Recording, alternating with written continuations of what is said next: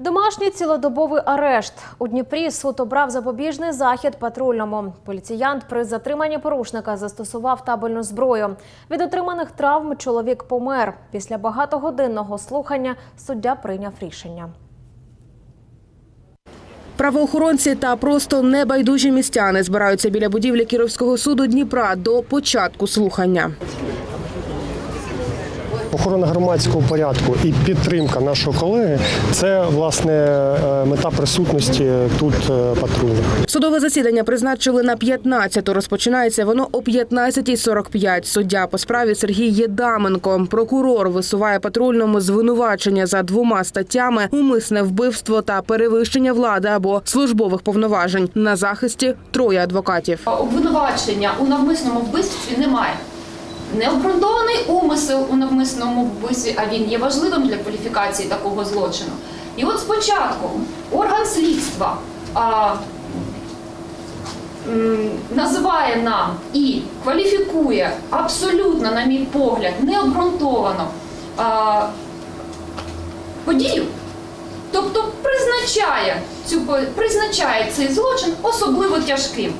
Абсолютно необґрунтовано. Сам обвинувачений патрульний Єгор Звонков в залі суду не присутній. Він у лікарні. До засідання долучається відеозв'язком. Підозрою я не погоджуюсь абсолютно. Тому що ці дії, які тут прописані, я не вчиняю. Е, в той день на нас, на працівників поліції, на мене та мою колегу напад. Випали нам. Після того, як було застосовано всі можливі заходи фізичного впливу, спеціальні засоби цивилого дії та стані крайньої необхідності воно вже було застосовано зброю для захисту поводження та життя своїх родин. Прокуратура просить для обвинуваченого два місяці арешту без права внесення застави. Адвокати поліцейського не погоджуються і наполягають на особистому зобов'язанні, домашньому арешті або звільненні під заставу. Е, працівник поліції фактично врятував життя своїй колезі, і тому вважаю, що на даному етапі е, е, досудового розслідування занадто суворо буде запобіжний захід як тримання під вартою.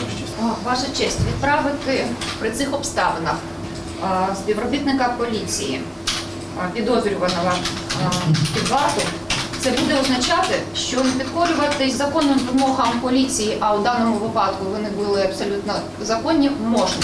Що нападати на співробітника поліції можна. Тоді суспільство взагалі буде розуміти, що якщо не захищена поліція, якщо можна нападати і загрожувати життю та здоров'ю поліції, то тоді на що ми, люди, суспільство, можемо взагалі сподіватися? Після п'ятигодинного засідання суддя оголошує рішення. Застосувати щодо підозрюваного Звонкова Єгора Андрійовича 21 січня 2022 2002 року народження запобіжний захід у вигляді домашнього арешту до 30 жовтня 2023 року, заборонивши залишати житло цілодобово, крім випадків явки до слідчого прокурора чи суду, звернення за медичною допомогою, тому числі на час перебування в лікарні, виходу спеціального сховища в разі оголошення тривоги, а також у невідкладних випадках пов'язаних з ризиком для життя. Присутні в залі суду реагують на рішення судді оплесками. Ольга Величко, Антоніна Чуйко та Юрій Смірнов. Open News. Телеканал відкритий.